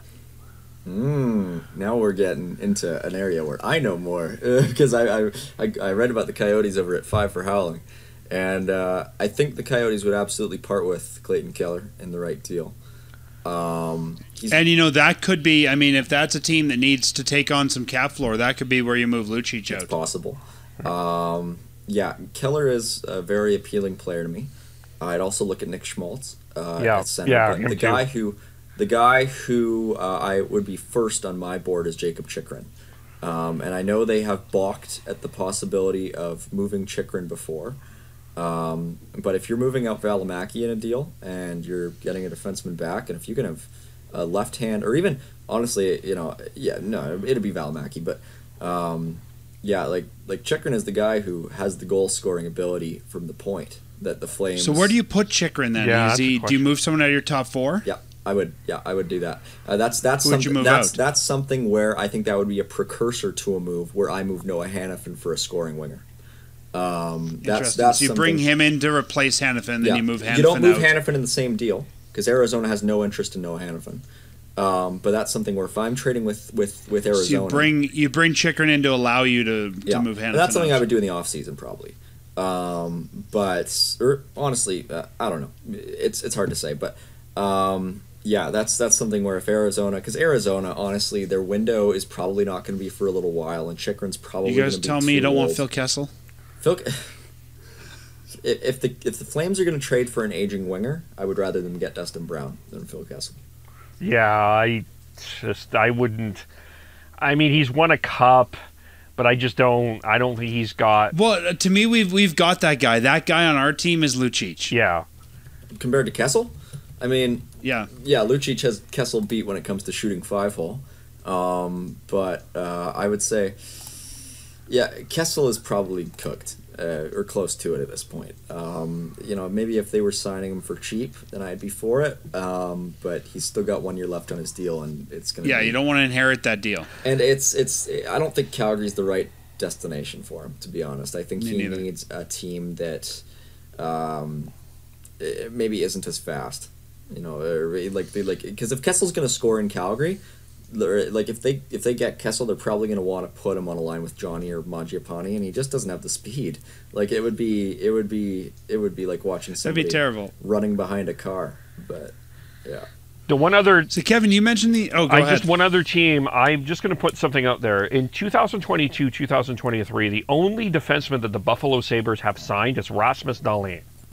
Mhm. Do they have a couple of players? I mean, I know like you're not getting Dylan Cozens out of there. I don't think. But they're. I wonder what they would be interested in. I wonder what you would take to get Tage Thompson out of there. I don't think it would take uh, Valimaki to get Tage Thompson. I think it would take less um, because like Thompson is having a good start. Um, but there was probably a time last year where Buffalo tried to move Thompson couldn't because he had a really rough season. And he had a rough season the year before that too. I think honestly at this point Thompson needs to stay in Buffalo um, because I think it's the only way he's he's finally in a groove. I, if I was Fair. Tage Thompson, I wouldn't want to move right now. And no, was- and he's also playing first line minutes there, which Yeah. he's not going to get if he goes somewhere else. No, yeah, I'm. I'm, I'm, I'm a little skeptical of Tage Thompson. The guy that I, but but I mean, he's a, I think he's a good player. But the guy who I'm looking at if I'm trading with Buffalo is um, is uh, uh, uh, Victor Olofsson. Because I mean, that's a guy who's 26, uh, pending RFA arbitration rights. That's a guy who I think is tailor made to sign a one year deal and just go straight to UFA uh, if he doesn't get traded. Um, because Olofsson does not line up with whatever Buffalo's window is going to be at all. Um, similar situation to uh, to Boeser, if you ask me, in terms of you know where they are on teams that probably aren't going anywhere fast, pending RFAs, scoring wingers. That's sort of the same, uh, uh, sort of the same hamburger right there. The other team that we mentioned earlier that I think probably is a young defenseman is the Dallas Stars. Yeah, I could see it. I mean, So, I mean, you know, I could, I could see, I could actually see Valimaki fitting in very well there. Maybe with Esa Lindell, uh, Miro Heiskanen. Like, I could see him kind of fitting that sort of there. I think Klingberg is over over his head there on the first pairing, and I could see them wanting to move some guys around. Um, but what do you want out of Dallas in return? number ninety one, I want Tyler Seguin. That's that is that is my target. I mean, I don't know how many years Seguin has left on his deal, but if there is somebody who you can get from Dallas who has the ability, oh my god, uh, never mind. I don't want Tyler Seguin. He's Yeah, I was gonna It's say, are you deal. sure it's like it's it's like Oh my until goodness. yeah. What are they? Th- no, okay, th- never mind. I don't want to say. anymore. Seguin's got nine point eight five for, For I think six like more years? se- seven six more years. Okay, I yeah. didn't. I didn't know that. Um, yeah, I don't want to say. If you any- bring in Seguin, you have to say goodbye to one of the other Yeah, I contracts don't- we I don't we want to sign. I don't want Seguin anymore. Uh, s- uh, okay. I mean, okay. What do you it, think, it just Kevin? depends on what Dallas. Just one second. It just it just depends on what Dallas thinks they are. If Dallas thinks that Rick Bowness can get this team back to the Stanley Cup final immediately, then they're not going to trade a guy like Roope Hintz, and they're not going to trade a guy like Denny Gurianov. But if they think they're close to being done, those two guys are the guys that I want. I wouldn't mind. I mean, I don't know what it would take, and I, if it's too much, I would say no. But I don't think it would hurt to have Joe Pavelski in this lineup. Hmm. Yeah, I would. He is a UFA. It would be a rental. It would be a pure rental. I don't think you're signing him next year. No. yeah, But Pavelski. Pavelski, absolutely. I agree. or with that. or or the Russian god Alexander Radulov. Yeah, I mean, I think I think Pavelski makes more sense. Um, just I don't think that that necessarily becomes your Valimaki move, but I think you could get Pavelski near the you know mid season, near the deadline for not much. Pavelski for second and I don't know some. Yeah, I, I, think uh, I think that makes a lot of sense, um, especially when you consider that maybe Pavelski's a guy who could theoretically slot in on the wing if if things go poorly. I mean, or, or if or if, if, if the Flames just aren't ready to move one of their centers out of out of uh, the middle at that point in time. I mean, and Pavelski, I mean, high volume shooter. So that's something that I think the Flames would really covet, definitely. I agree. We t- and I mentioned this earlier, and I, I mean I think the price will be high, but I can see guys starting to want out of uh, Chicago, and the only guy that I might want from there is Dominik Kubalik, but I think that the price is going to be high to get him. I mean they're not moving Kirby Dach. Uh, I don't. I think Kane and Toews. There'd be a bidding war for mi- middling teams who want a a name. I guess see a team like Seattle want to bring in a name there. Um, they're not moving Strome. You don't want Gaudette. I think they- Brinket's not going anywhere. I think they're very, they very easily could move Strome because Strome has fallen out of favor. Um, yeah, you Strome know, would like, be uh, Strome. Strome's a piece that can move for sure. Yeah, I, th- I think I think Strome is possible, um, but uh, you know I, I'm I'm a little skeptical of Strome. Uh, Kubalik is yeah like I think you, if you move for Strome, you move for him as a depth piece. You're not bringing Strome in as a top, as a you know top six. I mean I'm not sure. I mean Strome is it, when Strome has been with or when Strome has been with Kane in full seasons, it's uh, it's it's been positive. There have been a lot of points. I guess Um, the way I look at those, who do you take out of our top six to put Strome in?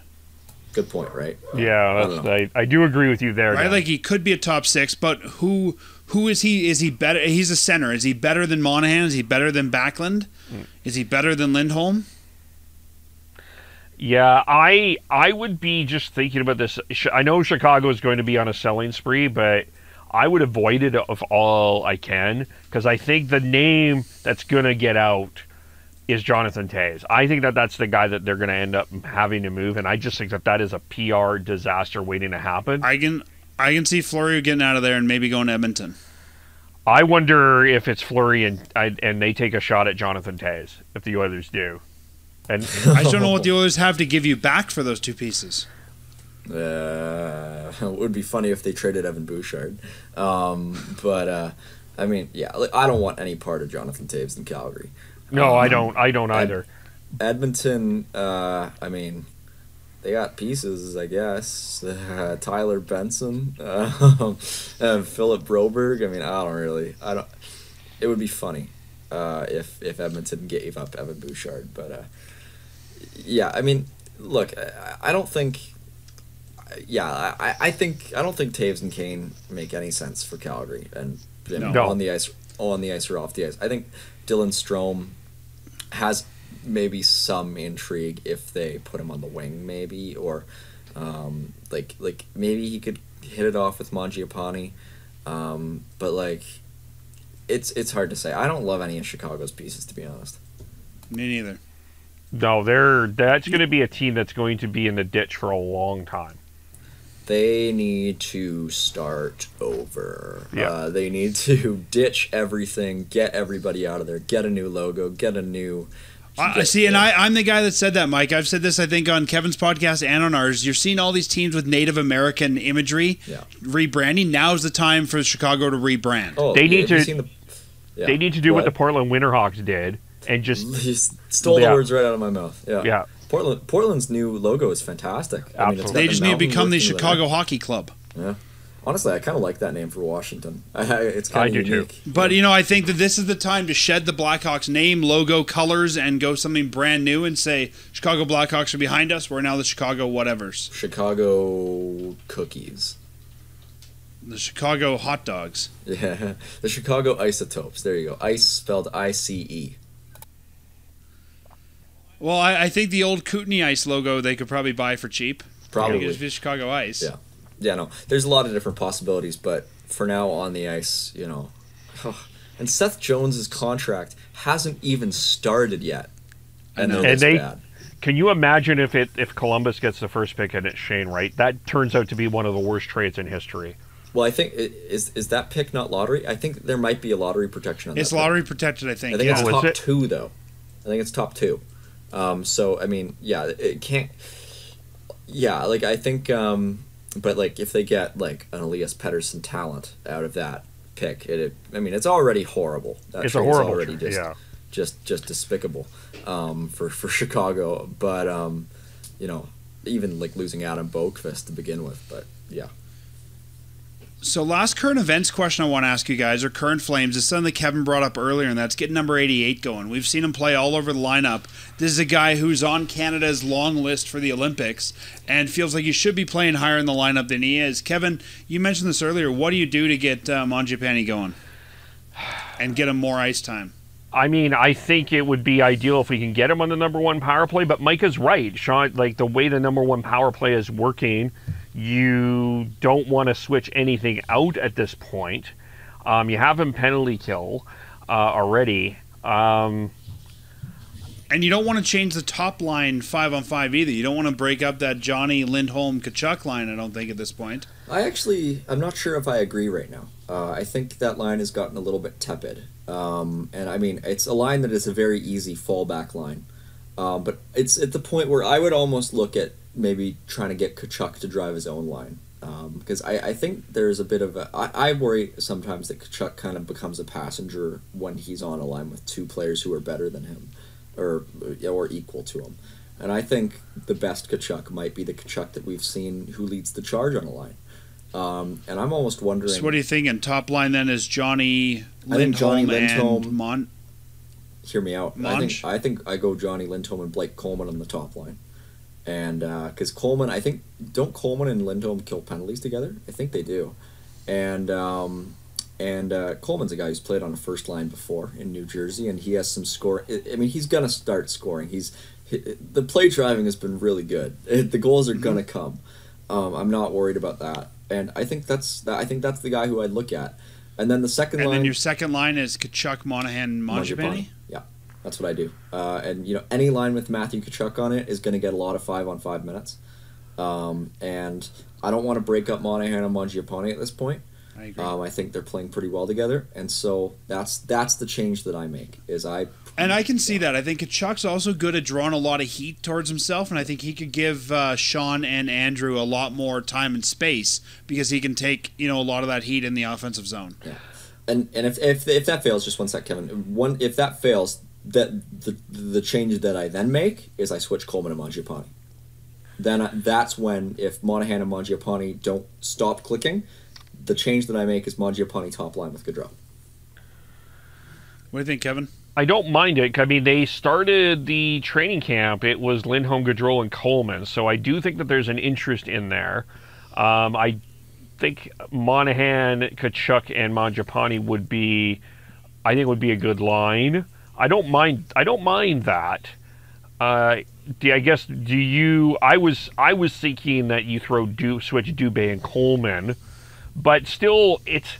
I guess it still comes down to usage though, because you're still. It seems like like I'm, I mean I'll have to just looking at the ice time here. They're still using. It's. It seems to me it's. This is also an issue of deploy, where it's more five on five, like special teams wise. I mean, you're not putting Mangiapane more. I mean, there's maybe a legitimate argument. Maybe maybe a switch is um, you switch Mangiapane and Tkachuk and put Tkachuk on PP two and put Mangiapane on PP one. I mean, the argument he has ten. goals. He's leading the team in goals. Yeah. How is he not No, on the it's- Flyers' number one power play? Yeah. It's it's it's it's it's it's a very good argument, and I, I like like you look because Mangiapane and Tkachuk play similar roles on the power play units, and that is something that I think does to an extent make quite a bit of sense. Um, it would I, I like your idea, Mike, of putting Tkachuk A on his own line, and I think B back on the left side. I think he's been more effective on the left side than the right, and I can see him driving that line uh, very easily on line two. Yeah, and there are changes that you can make after that. To start, I would go Tkachuk, Monahan, and Mangiapane. If it comes down to it, maybe we see Tkachuk, Backlund, Mangiapane come back, and that's been a line that's been good in the past. Um, but I think I think it is a good idea to have Tkachuk driving his own line, and you can still have that line with Gaudreau and Lindholm and Tkachuk go out in critical moments, um, and try and wreak havoc and, and, and get all offense Yeah. But for regular, you know, second period action, I think that is what I would do. Um, I think that feels more balanced too. And I look at the top six now. If we look at the third line as Dubé, Backlund, Lewis, it just feels like there's more balance if we move Tkachuk to that second line. I take Lewis off the third line too, and I put Lucic there Who do you instead. put there? I put Lucic there instead. Uh, but that's just Okay. the one change I make. Um, So then your fourth line's what? Lewis, Richardson, Pitlick. fourth line stinks. I mean, it's just not good. it's it like the, Whoever that- else is healthy. that's the problem, right? Like that fourth line. I mean, Lucic is the best player on that line, which is not what you want. I mean, I don't mind Milan Lucic, but he shouldn't be driving a line.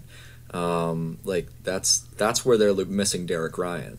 Um, you know, that's that's um, that's where that's where I look at the Stockton Heat and say Adam Ruzicka with nine goals in eleven games. This is a guy who I want to see see if he if Lucic can teach him how to hit, and see if uh, see if Lucic can give him passes that he can put into the net, um, because that would be a big difference. And uh, you know, because right now at at best you are hoping that the fourth line treads water, um, and there is we have seen Flames teams in the past that have been really good where the fourth line has been a driver. Uh, when it had Ryan and Mangiapane and Garnet Hathaway, and I don't see any reason why if they bring up the right players, we might be able to see that with the fourth line this year. I would like I agree, and I think Lucic has value there to help. You know, like you were saying, teach those young guys. Yeah. Sorry, Kevin. I want to see them give a little bit of a longer look to Walker Duehr. He did have a good enough training camp that they kept him here. He, I mean, I mean, I guess some have argued he's a project, but he's in. He's up here. Why not give him a look in the next couple of games? Like, Yeah, I what wouldn't is be the loss? What is the loss here? I mean, Who are you taking out to put him in? Nobody of consequence. Yeah, uh, exactly. yeah, Trevor Lewis, Tyler Pitlick. I I haven't been enamored with Tyler Pitlick at all this year. Trevor Oh, Lewis been has given awful. yeah, Trevor Lewis has been better than Pitlick, I would argue, but um, it's I think Pitlick maybe looked better when he was on that uh, Backlund Coleman line. It was, I think it was a bit more of a sum of its parts, but I don't think he's looked great by himself. No. Yeah, I wouldn't mind seeing Walker Duehr. It's so funny with Walker Duehr. Entering this season, I had him as the Flames' second worst prospect, um, and it's just funny how things can immediately turn on their head. I had, like I uh, in my off-season rankings, I had they had forty guys who qualified under my rankings, and I had him 39th. And I, I, because I watched him in his first five AHL games with the Heat, and he was lost. He just it wasn't there, and it was just Mike, a lot of us thought the same when Luke Yeah. Phillips signed out of uh, you know Canadian universities Yeah. too. That he just was a project and a long term guy. Yeah. And I like Phil, I like Philp honestly probably a little bit more than Walker Duehr. Um, but Walker Duehr has uh, attributes that make him undeniably appealing at the NHL level. Um, you know, and honestly, but at the same time, with Walker Duehr, um, he's here beyond this season. There are guys in the American League who are unlikely to be here, or who could make their case to stay here beyond this Yeah. year because they're pending UFAs. Uh, guys who have been prospects in the past. Guys like Glenn Gawdin is going to be a UFA at the end of this season. A Group Six UFA because he just hasn't played enough NHL games at this point, and he's turning 25, and so he might be gone at the end of this season. And the Flames might be letting a guy, you know, just walk out sight unseen if they don't give him a little bit more time. Now, I don't love Glenn Gawdin. Um, never really been that convinced in Glenn Gawdin's potential when I've been watching. But is Glenn Gawdin a serviceable enough number four? but he might be, and I'm not convinced that the Flames currently have one of those. Another guy is Luke Philp. Uh, Luke Philp is going to be a Group Six UFA, and then another guy is Justin Kirkland, who I am even less enamored on than Gawdin. Uh, but he's another guy who's going to be a Group Six UFA, and he's a guy who they had up at the end of training camp. So they have options. I think you also have to figure out what you're going to do with Matthew Phillips before too long That is true. as well. Yeah, Phillips is a little bit younger, so he has a little bit longer uh, pathway, I think. Um, but uh, yeah, you know that's definitely something. Uh, I wouldn't I wouldn't bring him up just yet. Um, but if No. uh, But I agree with I agree with you, Mike. I think you know Walker Duehr. We know he's here. We can always come back to him, but we got to figure out what we have in some of these guys, and if we keep them around or get rid of them. And I think you know those guys like Gawdin. I mean, he's 24. We got to figure out: do we keep him? Do we get rid of him? Like you said, Kirkland's 25. Is he a keeper? Is he an AHL tweener? Well, that's- or is yeah. he someone we say goodbye to? That's the thing, right? Because Duehr and Phillips are guaranteed to be here. Like they're RFAs or they are under contract. They're gonna be here because they're gonna get qualified. Gawdin can leave. If he doesn't want to come back, he's gone. If the Flames don't show interest enough because they haven't seen him enough, they don't have the power to just qualify him and keep him. He's gone. So I think it's time that they start looking at these guys if they're really interested in them Yeah. or not. well, here's the thing. And and I and I think part of that too is I think as as Flames fans, a lot of people expect these guys are going to come up and crack the top nine. Somebody's got to be a fourth line guy, and there's a living to be made being a fourth line center in the NHL, and I think that might be Gawdin's upside. Yeah, yeah. Well, here's the, the other thing too. With this, I'm just looking at the Flames schedule. You've got Buffalo uh, tomorrow. You got Buffalo Thursday, Islanders Saturday, Boston, Chicago, and then Pitt, Winnipeg, and then Pittsburgh, and then you're off to California and Vegas. This would be the time that you're not. You've got points in your pocket. You're not intensely into the playoff race yet this is the time that you can do a little bit of experimentation and it's not going to hurt you. And also coming the start of December, we happen to be in California, so it's nice and close if you want to bring a guy out to give him a shot. Yeah. I mean, Yeah, I I think yeah. And I think we're seeing, like with Walker Duehr, I think that we're seeing just because of COVID protocols, when they go on these long road trips, they're going to bring an extra body, like just just to have that body around, because it's going to take some time to move guys back and forth, and there could be restrictions. So I think you might see that guy like Ruzicka get the next road trip or something like that, just to have that body with them. Do you throw a Jakob Pelletier out? Yeah, I wouldn't yet. That's the thing that's going to keep Phillips from getting recalled is that they have a guy who is of a similar profile, who is of higher pedigree, uh, who will Yeah. get the call first if that's the player that they are looking for. Um, and so that's that's going to be the tough thing. But with Pelletier, um, yeah, that's he is a guy who I think we're gonna see at this this season. I think he's definitely a guy who is gonna get a look very soon. Well, guys, I think that kind of wraps up the week that is for the Flames. Unless there's anything that anyone else wants to talk about. Uh, uh, just a couple, maybe one thing I'm just going to put out there at a couple quick questions. That, well, maybe maybe for a future conversation. Um, Vladar at some point may also need to get paid, and I'm just going to throw another scenario out there. I, I know that they were. I know the Flames were loath that Kevin Weeks put out Matthew Tkachuk's name in trade rumors in the Eichel deal just thinking about where Mangiapane is and what we got to do with Johnny Gaudreau, I wonder if there if the right offer came, would they consider trading Matthew? I think absolutely they would. Um, just depends on what that offer is. Yeah. Well, this is what I say to Matt all the time. Matt says if the right offer comes, and I say to Matt, what is that right offer? I mean, any you know, the million dollar man in WWE is everybody's got a price, right? What is what is the price to get Matthew, and what would you have to get back? Right. It just depends, because like the suitors that I would think that make the most sense for Matthew are the teams that his dad played for, and St. Louis is a team that I could definitely see having interest. Um, but the pieces that St. Louis has to offer, well, that's it. I can't. I can't think of a package I'd want to put together from St. Louis. I mean, well, like, because like, there's the thing. The guy that I want is Jordan Kyrou, and I don't think they'd move him at this point. Um, no. And Robert Thomas is not good enough, and Thomas is the guy who Chuck probably want to play with in St. Louis. So, um, and other than that, it's tough. Scott Perunovich, I like him, but like it's just it's tough. Arizona is the other team, and he doesn't fit their window at all. So I don't know, no. like it just doesn't make a whole lot of sense. So beyond that, I don't really know. Um, like, and I think the teams that he would fit their window aren't going to have the cap room to bring him in, and aren't going to want to give up the big contract for him. I mean, I you know, if you're looking for a move at the deadline, you're not trying to inherit seven million. No. So it's it's a deal that you know it, it, depends on what kind of assets you're looking to get back. That totally changes the game. If you're trying to trying to still compete, or if you're rebuilding, that's totally different. Uh, and if, that's the time I could see it maybe working. If this team doesn't make it this year and they're going for futures, then I could see there being a lot of deals. Oh, absolutely. Yeah, the number of teams that are on the upswing that are going to want to maybe give up futures for Matthew Tkachuk, I think there are going to be teams like that. This year, not so much. Yeah. Yeah. Kevin, you were mentioning Vladar. I think Vladar is interesting too because I mean we've got Wolf, and I think Wolf's the guy we want to take our sweet time with. You don't want to rush him up there. But I think you know you can't pay Vladar as long as Markstrom's here. So you've got to really figure out: is Vladar a good backup? Is Vladar a, a, starter, or does Vladar stay as backup and eventually Wolf becomes a starter? Like I think it's a good problem to have. Well, it, and the other thing is, is Markstrom going to last that contract? That's the other thing as well. At six million at five years, I don't. Well, and I think eventually Markstrom becomes the you know the grizzled veteran backup to Vladar or Wolf or whoever's next.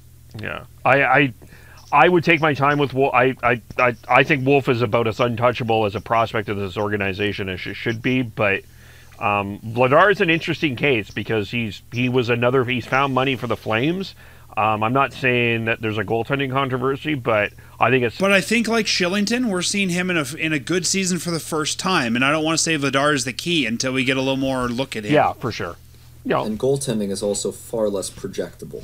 That's the one yeah, thing. It is. We, we've seen yeah. David Rittich go on 940 months, and you know when he was first coming up with the Flames, and and it's it, it's tough. But I mean, you know, I, am not. I mean, we saw Henrik Karlsson look good for a month. Like you know, goalies come, goalies go. So, yeah. Hard to yeah. say. Yeah.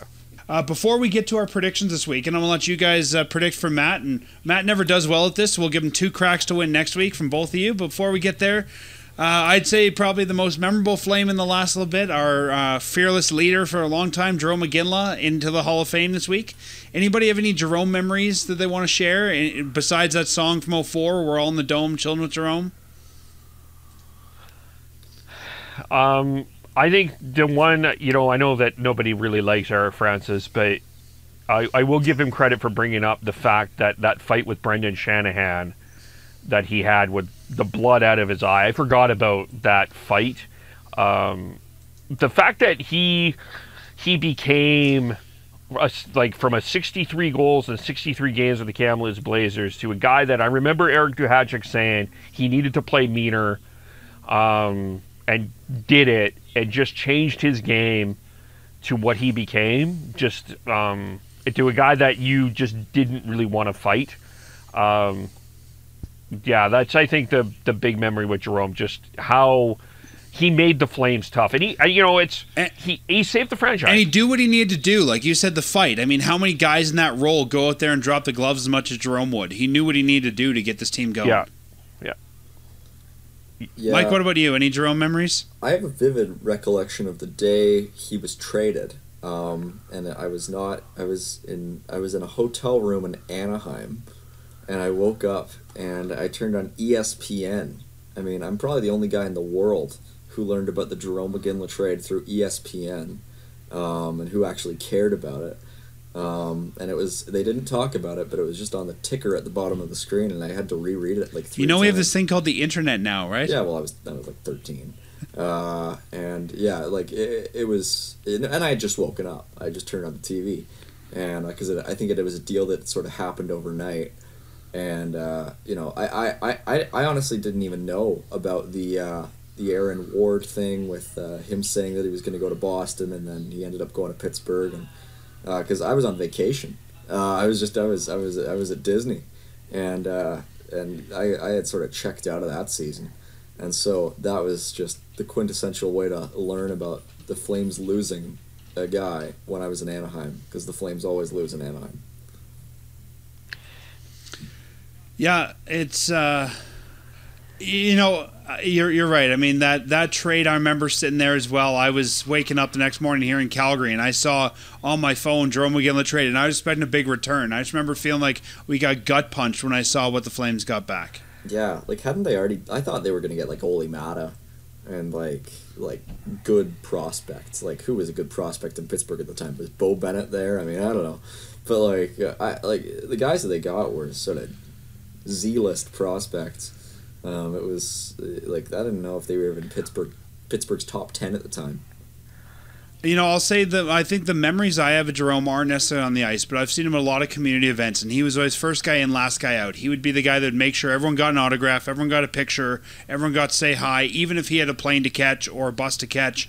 Like Jarome was that consummate captain, and I think that's something that Calgary hasn't had a lot of. And he respected the game. Like he respected, you know, when Trevor Linden retired, he made sure the Flames were on the ice to shake his hand. Um, he, mm-hmm. you know, I just I know. I think the other memory that just popped into my head is the night he returned when he played for Boston. There were more fans cheering for Boston and Iginla than the Flames that night, and it's just they wanted to see Iginla score a goal so bad on that that night. I just he it's I don't yeah. There's not been a franchise impact like. With all due respect to Miikka, I mean, who's probably second, Iginla was the franchise of this team. You know what was really cool was this preseason, this past preseason. I was at uh, the Flames' first home game of that preseason against the Seattle Kraken, um, and that was the game where you know Oliver Kylington first took his step. Um, but also at that game, uh, Mark Giordano scored, and the eruption that came from the crowd when I heard that, that reminded me of that game that you just mm-hmm. talked about, that Boston game. And it was yeah, it's just Calgary loves Calgary loves its captains and uh, I can see why they're they're maybe waiting a little bit long longer to get this next one right because it's sort of hard to follow in the footsteps of those two. Well, and I think the guy who a lot of people think is heir apparent to the C is a pending UFA. So I think if you lock him up, and I think a lot of people think that uh, Matthew Tkachuk's the heir apparent, you want to lock him up before you put a C on him. Yeah. Yeah, I mean, definitely. I would honestly, you know what I would do is if if Johnny extends, I would put an A on him. So, guys, December 19th, 1995, Calgary Flames trade Joe Nieuwendyk to the Dallas Stars for Jarome Iginla and Corey Millen. Now that everyone's retired, who wins that trade? Whew. Hard to argue with the team that won the cup, but I mean, at the same time, you know, you can't. I think if we look at those guys, Jarome did more for the Flames than I think Nieuwendyk oh, did for the Stars. It's not even a question. I mean, yeah, like it's eh, you got a guy who comes to a team and is the best player in franchise history I mean, you can't. That that that's. Just, And I would say not just in franchise history. I would say for a few years when he played, the best player of his of in the league. probably yeah, there were probably a couple of years there. Yeah, definitely, I would say. Not a top 100 player of all time though. So it's uh, Yeah. What do you say think, Kev? Uh, yeah, I think I think it's hard not to say that Calgary did not win the trade. I mean, Nieuwendyk left shortly, Dallas shortly after they won that cup, and Corey Millen, while not a legend of Flames lore, was actually a pretty good player that year for the Flames, even though they were a terrible team at the time. Corey Millen was not a terrible player, so I would say that the Flames did win that trade.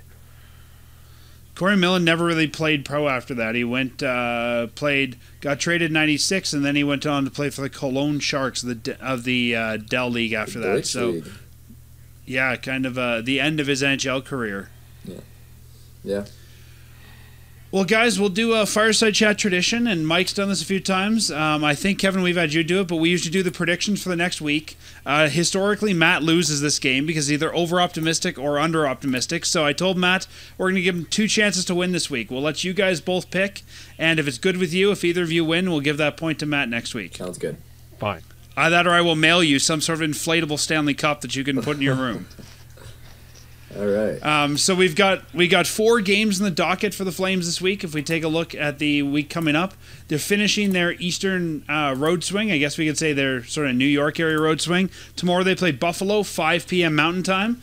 Saturday night it, uh, is the New York Islanders at 5 p.m. Mountain Time. Then they've got the Boston Bruins Sunday, and they're home to Chicago Blackhawks on Tuesday. So Kevin, why don't we start with you? What are you thinking for this one? I think they go two and two. I think they win in Buffalo. I think they lose on the island, and I think they lose in Boston, and they win in Chicago. What do you think, Mike? All right, I think they lose 4 2 in Buffalo. I think it's going to be a trap game for them. But I think they're going to rebound in a big way on the island. Uh, I believe that's the first game in the Islanders' new arena. Yeah, that's Uh, that's and, that's uh, why I think the Islanders win that one. But No, I think they're going to spoil it. I think it's going to be a 5 1 win for the Flames in that one. Wow. Um, and then uh, in Boston, that's a that's an interesting one to me because the Flames have actually been, I think, pretty good against Boston recently. Um, And not bad back to back this year. So I'm, what I'm going to say is I think they're going to uh, get their get only their second overtime win of the season. I think they're going to win that one four to three, and then I think they're going to shut out the Blackhawks one nothing. So you think they're going to win New York, Boston, and Chicago? Yeah. So that'd be a much better week for them this week. Yeah. I think that they're going to lose to Buffalo. I think we've seen, if we look at the games against Montreal where they underestimated them, I would even see that first period of Chicago of the uh, sorry the Ottawa game. I think that they might come out a little bit slow, and uh, Buffalo might be able to.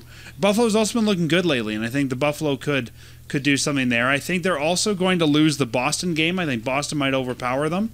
But I'm going to say, like Mike, I think they'll spoil the uh, New York Islanders game, and I think that Chicago's turning into a dumpster fire. So I think that they can win there. So I'll say uh, lose Buffalo, Boston, win New York, Chicago. It would suck if they lost to Chicago. no, That's just all I totally, yes, Yeah. you cannot Yeah. lose to Chicago. So that's yeah, I think that I think that's what everybody's saying this year. yeah. I think they're going to get goalied a little bit in that game. That's why I think it's going to be one nothing. But I don't think Chicago's going to score. I just hope it's a, No, a I- land of boos. I hope every time someone touches a puck in Chicago, it's a boo. I'm going to be And- at that game. Yeah. Okay, make Yeah, sure that it's when, uh, not boo earns, it's boo. Yeah, when when 19 and 88 touch the puck, it's going to be booze, for sure. Well, Kevin, Mike, thanks for joining us this week. Thanks for filling in for Matt. We appreciate you guys stepping in last minute and helping out. And I thought this was a lot of fun. It was a lot of course. fun. Always a pleasure. And I'm going to do Matt's usual sign off since he's not here. As always, go Flames go. This episode was hosted by Dan Stevenson and co hosted by Mike Gould and Kevin Olenick. The episode was produced by Peter Marino. Fireside Chat episodes are licensed under a Creative Commons Attribution, Non Commercial Share Alike license. The full license terms are available at firesidechat.ca.